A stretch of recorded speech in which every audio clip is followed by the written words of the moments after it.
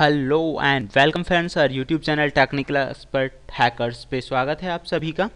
और फ्रेंड्स अभी हमारी जो लास्ट क्लास थी वो रिलेटेड थी बैनर ग्रैबिंग से। और जो जो लोग ये वीडियो फ़र्स्ट टाइम देख रहे हैं, वो इसे अच्छी तरह समझने के लिए पुराने वीडियोस ज़रूर देखें, ताकि इस टॉपिक को अच्छे से समझ सकें। और जो लोग एथिकल हैकिंग के बारे में बिल्कुल नहीं जानते हैं, वो सारे वीडियोज़ शुरू से देखें, क्योंकि बीच में से आपकी समझ में कुछ आएगा नहीं। तो फ्रेंड्स, चलिए शुरुआत करते हैं आज के इस प्रैक्टिकल सेसन की। जिसमें हम जानेंगे बैनर ग्रैविंग की कुछ एडवांस प्रॉपर्टीज़ के बारे में। तो फ्रेंड्स लास्ट टाइम मैंने आपको पहले ही एक्सप्लेन कर दिया है एक्टिव और पैसिव बैनर ग्रैबिंग क्या होती है और कैसे हम इंफॉर्मेशन को कलेक्ट कर सकते हैं।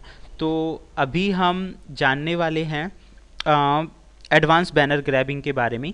तो फ्रेंड्स एक जो सॉफ्टवेयर है, बहुत सारे जो हैकर्स हैं इस सॉफ्टवेयर का इस्तेमाल करते हैं काफ़ी हद तक एडवांस इन्फॉर्मेशन निकलवाने के लिए, किसी भी वेबसाइट के सर्वर से कनेक्ट होने के लिए भी इस तरह की चीज़ों का इस्तेमाल किया जाता है। बट बिफोर द क्लास मैं आप सभी से कहना चाहूँगा कि इस तरह की चीज़ों का या ये जो भी वीडियोज़ हैं, उनका गलत तरह से इस्तेमाल ना करें। अगर आप करते हैं तो उसके लिए आप खुद रेस्पॉन्सिबल रहेंगे।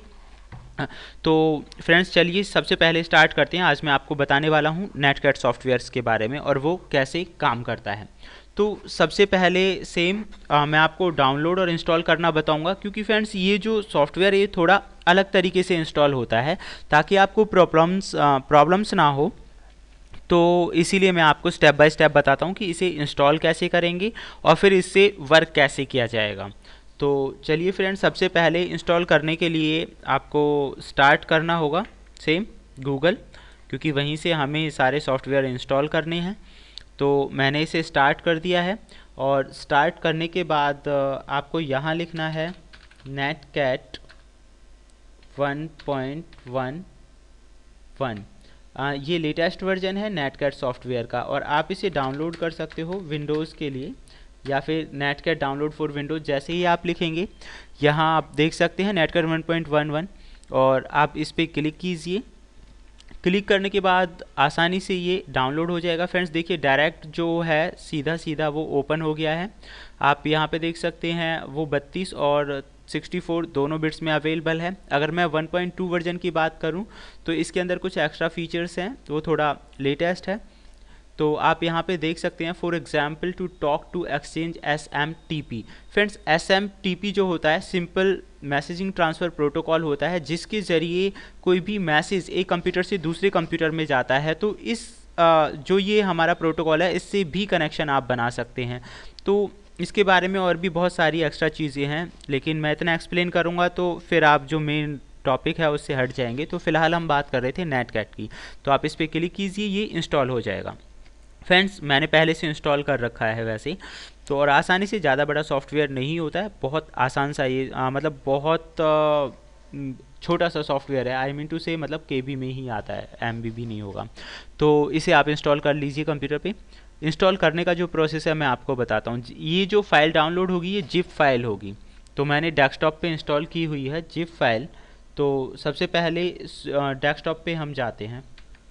तो friends I am going to desktop और यहाँ हम देख सकते हैं कि आ, अगर ध्यान से देखा जाए तो नेट एट विंडोज़ ये है यहाँ पे ऑलरेडी जो सॉफ्टवेयर है। तो डेस्कटॉप पे जाने के बाद आपको एक्सट्रैक्ट करना है। एक्सट्रैक्ट हेयर आप कर सकते हैं। एक्सट्रैक्ट करने के बाद इस तरह का एक फ़ोल्डर आ जाएगा। आप यहाँ पे देख सकते हैं कि ये जो फोल्डर है इसमें कहीं भी आपको सेटअप वाली या इस तरह की कोई फ़ाइल नज़र नहीं आ रही है। तो अब हम इसे इंस्टॉल कैसे करेंगे? तो फ्रेंड्स इंस्टॉल करने के लिए आप यहाँ देखिए सारी जो इस सॉफ्टवेयर के बारे में जानकारी है, आप यहाँ पढ़ सकते हैं।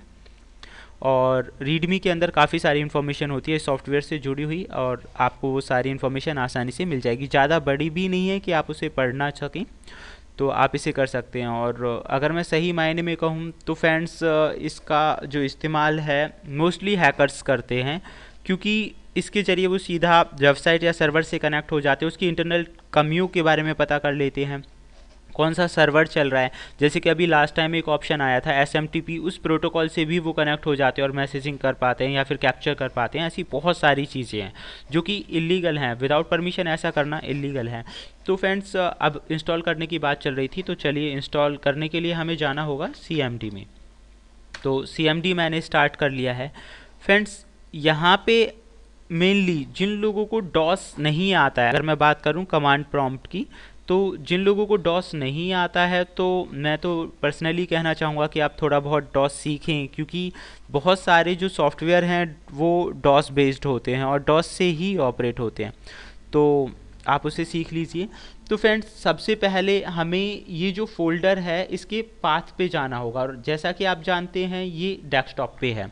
और डेस्कटॉप पे है तो सीधा सीधा अभी यहाँ पे हम अगर बात करें तो ये हमें लोकेशन दिखा रहा है कि आप सी ड्राइव के अंदर यूज़र्स यूज़र्स के अंदर जो क्वालिटी प्लस नाम का यूज़र आपने बनाया हुआ है, वहाँ पे हैं। तो हमें जाना है डेस्कटॉप पे। तो मैं सीधा डेस्कटॉप पे जाने के लिए मैंने सी डी प्रेस किया और यहाँ पे लिख दिया डेस्कटॉप तो फ्रेंड्स आप देख सकते हैं कि हम डेस्कटॉप के अंदर आ चुके हैं। तो डेस्कटॉप पे एक फ़ाइल है नेटकैट नाम से। तो हमें उस फोल्डर के अंदर जाना है। तो फ्रेंड्स अगर आप इसे ध्यान से देखें तो फोल्डर का जो नेम है नेट कैट 1.11 है। तो इस फोल्डर के अंदर जाने के लिए आपको प्रेस करना होगा same C D space netcat और उसका जो पूरा नाम है minus one point one one आप समझ गए होंगे कि मैंने ये क्यों लिखा? क्योंकि मैं इस फोल्डर के अंदर जा रहा हूँ। तो इससे हम फोल्डर के अंदर चले गए हैं और अब हमें वो सॉफ्टवेयर स्टार्ट करना है जो नेटकैट वाला सॉफ्टवेयर है। तो फ्रेंड्स आपको कुछ नहीं लिखना है, आपको लिखना है netcat dot E X E N enter sorry friends थोड़ी सी मिस्टेक हो गई। हमें लिखना है N C dot E X E क्योंकि वो शॉर्टकट में है वहाँ पे। क्योंकि, वो नेटकैट नेम से नहीं है एन सी के नाम से है और ई मतलब एग्जीक्यूटिबल फ़ाइल है।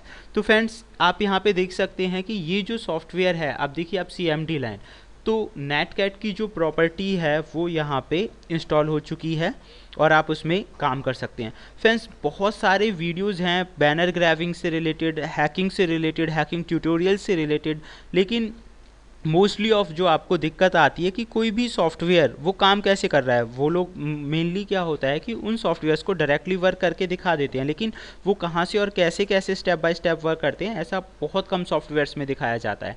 तो फ्रेंड्स आप समझ गए होंगे कि इस चीज़ को कैसे अप्लाई करें। अगर मैं आपको वीडियो दिखाता और डायरेक्टली कोई भी कमांड अप्लाई करता तो शायद वो आपकी समझ में नहीं आता मेरे पीसी में तो वो कमांड काम करती क्योंकि मैंने सॉफ्टवेयर डाला हुआ है लेकिन जब आप चलाते तो वो कमांड काम नहीं करती। इसलिए ज़्यादातर जो हैकिंग की ट्यूटोरियल्स हैं उनमें बहुत बार ऐसा देखा जाता है कि आपने कोई कमांड सीधे सीधे अप्लाई की लेकिन वो काम नहीं करती। काम फ्रेंड्स वो इसलिए नहीं कर रही है क्योंकि आ, वो जो है आ, मतलब उसके अंदर उसका सॉफ्टवेयर या प्रॉपर्टी कन्फिगर नहीं है। तो चलिए फ्रेंड्स अब शुरुआत करते हैं। नेटकैट के बारे में मैंने आपको बता दिया है। अब हम बात करेंगे एडवांस ट्रिक्स के बारे में, जो हम करने जा रहे थे। वो मैंने वैसे ही एंटर किया है। तो मैं ऐसे सी डी स्लैश से बंद कर देता हूँ। और अगर स्क्रीन हमें क्लियर करनी है तो सी एल एस कमांड होती है। स्क्रीन क्लियर हो जाएगी। और फ्रेंड्स सी डी स्लैश का मतलब है कि जितने भी फोल्डर ओपन हैं, उन्हें डॉस के अंदर क्लोज़ करना। तो ये अब क्लोज़ हो चुकी है। स्क्रीन क्लियर है। अब हम बात करेंगे पहली एडवांस ट्रिक के बारे में। तो चलिए फ्रेंड्स शुरुआत करते हैं। सो फ्रेंड्स होप सो आपकी समझ में आ गया होगा। प्रैक्टिकली बताने से पहले uh, मैं आपको डायरेक्टली लाइव करके तो नहीं दिखा सकता हूँ क्योंकि मैं आपको पहले ही बता चुका हूँ वो इलीगल है। हाँ प्रैक्टिस अगर आप करना चाहते हैं तो आप अपनी वर्चुअल मशीन पे प्रैक्टिस कर सकते हैं और जो कमांड्स होती हैं नेटकैट वाली, वो मैं आपको बता रहा हूँ। इसके अलावा टेलनेट से भी कैसे हम सर्वर के बारे में पता लगाते हैं तो वो मैं दोनों चीज़ें आपको नोट पैड पर बता देता हूँ। आप उस तरह अप्लाई कर सकते हैं। फ्रेंड्स सबसे पहले हम टेलनेट के बारे में, चलो टेलनेट नहीं, पहले मैं आपको एनसी की बारे में ही जो कमांड्स हैं, वो बता देता हूँ। वो इंस्टॉल करने के बाद अब उसके अंदर आपको कमांड चलानी है एनसीवी और आप यहाँ पे कोई भी आईपी एड्रेस लिख सकते हैं, जो भी कंप्यूटर का है आईपी एड्रेस और ये पोर्ट नंबर फ्रेंड्स जैसे ही आप ये लिख के एंटर करेंगे तो आपको सर्वर से रिलेटेड जो इन्फॉर्मेशन है, वो स्क्रीन पे मिल जाएगी, यानी कि सीएमडी बॉक्स के अंदर मिल जाएगी। उसके बाद है, अगर ये कमांड ये सबसे पहले जैसे ही आप करेंगे कनेक्ट होने की कोशिश करेगा। और अगर ये कनेक्ट हो जाता है तो आपको सेकंड कमांड देनी है हेड स्पेस स्लैश या आपको याद रखना है, अगर आप एग्जैक्ट कमांड देंगे तो ही वो काम करेगा S T T P slash one point one तो H T T P one point one friends ये है हाइपर टेक्स्ट ट्रांसफ़र प्रोटोकॉल और टी टी पी का ये लेटेस्ट वर्जन है। तो फ्रेंड्स अगर आप ये कमांड देते हैं तो इससे जो मेन इन्फॉर्मेशन होगी वो आपके सामने आ जाएगी।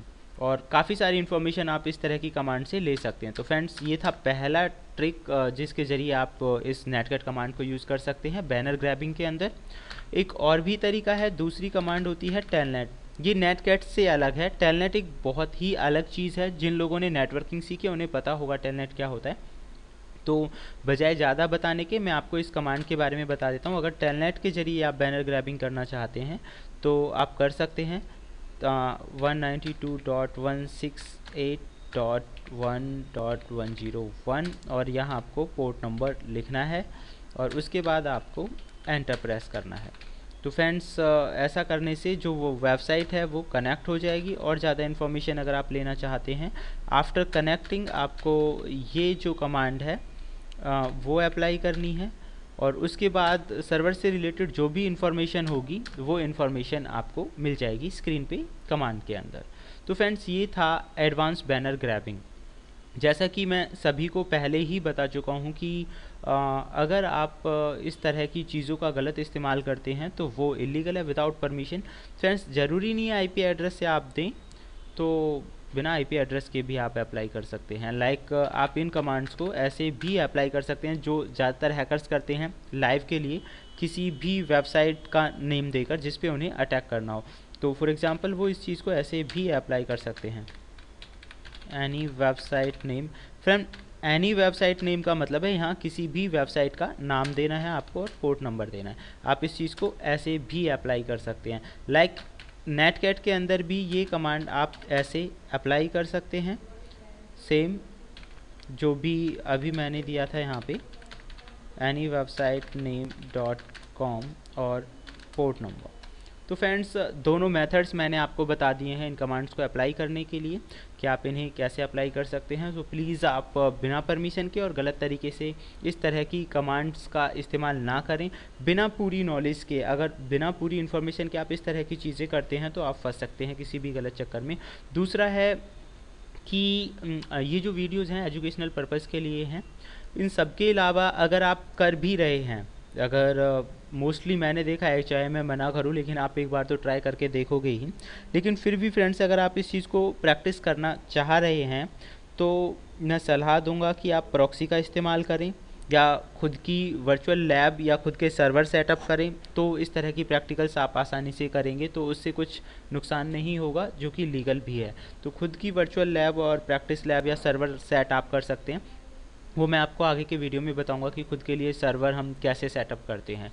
होप सो फ्रेंड्स ये चीज़ें आपकी समझ में आ गई होंगी। तो मिलते हैं इससे भी बहुत ही बेहतरीन ट्यूटोरियल के साथ अपनी अगली क्लास में। तब तक के लिए थैंक यू गुड बाय